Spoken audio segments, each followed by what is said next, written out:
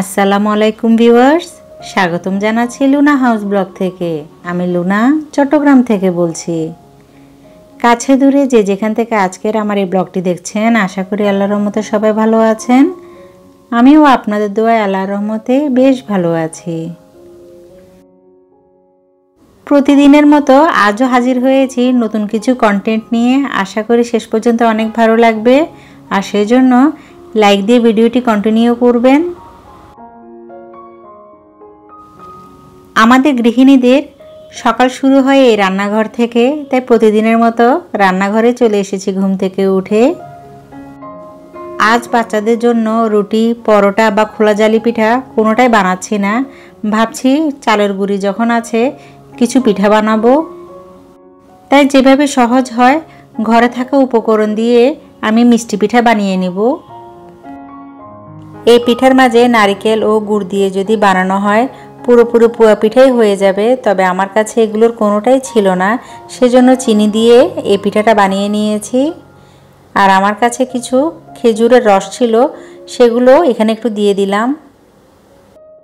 সবগুলো উপকরণ দিয়ে পিঠার এই ব্যাটারটাকে ভালোভাবে মিশিয়ে নিচ্ছি, আর এখন কড়াইয়ের মাঝে তেল গরম করছি। তেলটা ভালোভাবে গরম হয়ে গেলে একটি একটি করে এই পিঠাগুলো দিয়ে দিচ্ছি। এই পিঠাটা খেতে যেমন মজা, তেমনি বানাতেও অনেক সহজ। সকালবেলা যারা কি নাস্তা খাবে এটি নিয়ে চিন্তা করে থাকেন, তারা আমার মতো এই সহজ নাস্তাটা বানিয়ে নিতে পারেন। আগুনের তাপমাত্রাটা যদি বেশি হয়, তাহলে পিঠাগুলো পুড়ে যাবে, সেজন্য অল্প আছে প্রত্যেকটা পিঠা বানিয়ে নিচ্ছি। আর হয়ে গেলে নিচের অংশটা উল্টিয়ে দিব। আমি যখন এই পিঠাগুলো বানাচ্ছি, তখন আমার ছেলেরা ঘুমাচ্ছে, কারণ ছেলেদের কোনো স্কুলও নেই, তাদের কোনো লেখাপড়াও নেই। সেই জন্য একটু সময় নিয়ে এই পিঠাগুলো বানিয়ে নিলাম।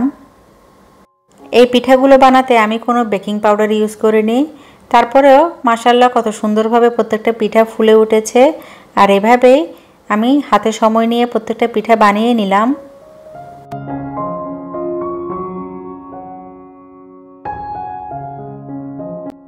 পিঠাগুলো প্রথমে একটা ঝুড়িতে নিয়েছি আর ভালোভাবে তেল ঝরে যাওয়ার পর একটা টিস্যু দিয়ে প্লেটে তুলে নিব আর বাচ্চাদেরকে এভাবে সার্ভ করব।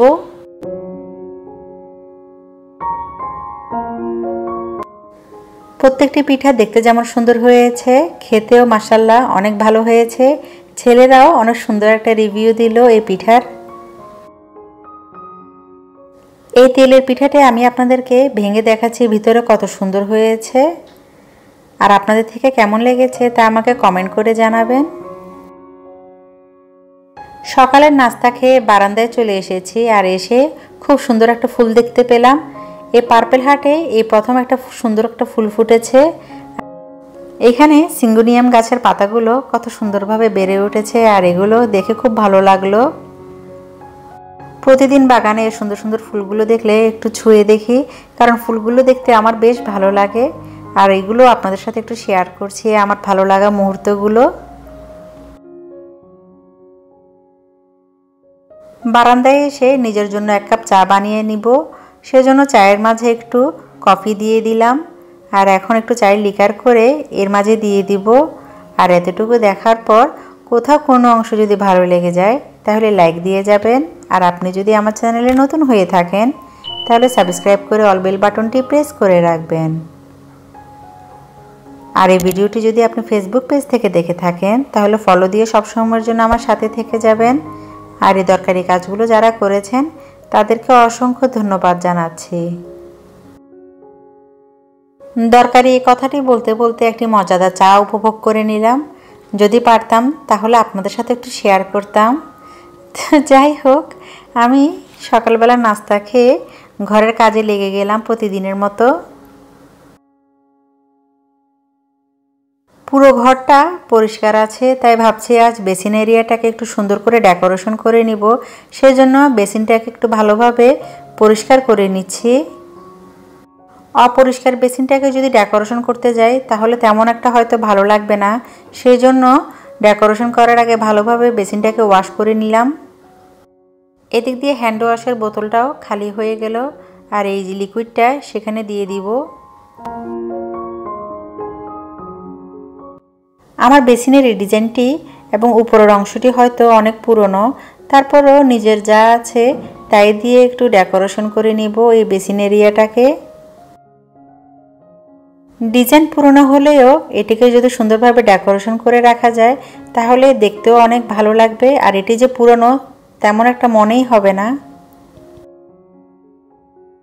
তাই ভেবেছি গাছ দিয়ে পুরো বেসিন এরিয়াটাকে একটু ডেকোরেশন করব। সেজন্য তার উপরে যে আয়নাটি আছে, আয়নাটাকে ভালোভাবে মুছে ক্লিন করে নিব।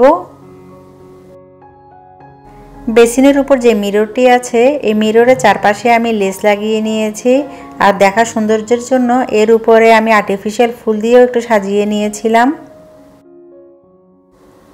আমার এই মিররটা হয়তো দেখতে বোঝা যাচ্ছে না, এটি দেখতে কতটা সুন্দর লাগছে। সামনাসামনি কিন্তু এই মিররটা দেখতে বেশ ভালো লাগে, যা হয়তো ভিডিওতে বোঝা যাচ্ছে না। আর সম্পূর্ণ জিনিসটাকে ডিপ্লিন করে এখন একটু ডেকোরেশন করে নিচ্ছি।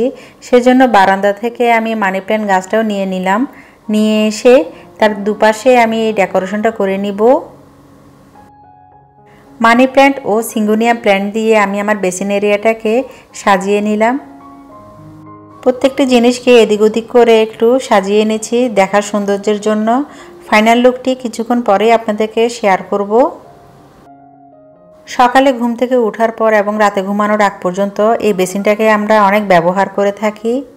আর ঘরের অন্যান্য জিনিসের তুলনায় এই বেসিনটা কিন্তু অনেক বেশি তাড়াতাড়ি ময়লা হয়। যদি একটু প্রতিদিন ক্লিন করা হয় এভাবে একটু সুন্দর করে সাজিয়ে রাখা হয়, তাহলে দেখতে কিন্তু বেশ ভালো লাগে। আর এই যে দেখুন, কথা বলতে বলতে আপনাদের সাথে পুরো বেসিন এরিয়াটাকে একটু ডেকোরেশন করে নিয়েছি। আর্টিফিশিয়াল প্লান্ট ও রিয়েল প্লান্ট দিয়ে বেসিন এরিয়াটাকে সাজানোর পর দেখতে কিন্তু বেশ লাগছে। দেখতেই পাচ্ছেন, খুব সিম্পলভাবে এই বেসিন এরিয়াটাকে সাজিয়েছি। আমার থেকে যা যা আছে তাই দিয়ে এই বেসিন এরিয়াটাকে সাজানোর পর দেখতে কিন্তু অনেক ভালো লাগছে আমার থেকে। আর আপনাদের থেকে কেমন লেগেছে তা আমাকে কমেন্ট করে জানাবেন। এই বেসিনের উপর আমার যা যা প্রয়োজনীয় জিনিস তাই রেখেছি। আর এগুলো দিয়ে সাজানোর পর আমার বেসিনটা অনেক ভালো লাগছে। বিশেষ করে গাছ দিয়ে সবুজের ছোঁয়া দেওয়ার পর দেখতে কিন্তু অসাধারণ লাগছে।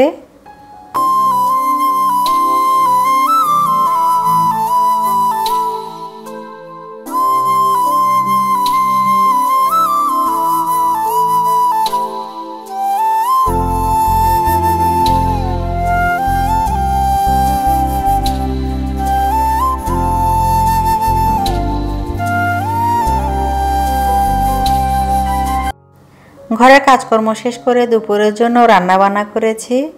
ওভারঅল আজকের ব্লগটাও আশা করি আপনাদের অনেক ভালো লেগেছে। আর ভালো লেগে থাকলে এভাবেই সবসময় আমার সাথে থেকে যাবেন। আজ এটুকুই।